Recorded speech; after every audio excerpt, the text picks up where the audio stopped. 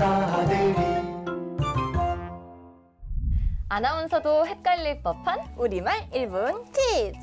영국의 시인 밀턴이 지은 대서사시는 실낙원일까요? 실락원일까요? 아 뭔가 저희 낙원 하면 사실 낙 니은자를 생각하잖아요. 낙원일까요? 락원일까요? 이런 말을 처음 들어보는데. 저도요. 어색합니다, 지금. 하나, 둘, 셋. 답판을 들어주세요.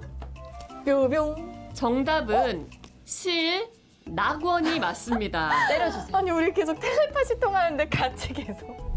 실과 낙원 사이에 의미 경계가 분명하여 두음 법칙이 일어난 것으로 볼 수 있습니다. 아 이미 두음 법칙이 적용된 낙원 앞에 이를 실자가 붙은 거니까 실낙원이라고 쓰는 거네요. 쓸 때는 신락원이 아니라 실낙원이고, 하지만 말할 때는 신락원이라고 정확하게 발음해야겠어요.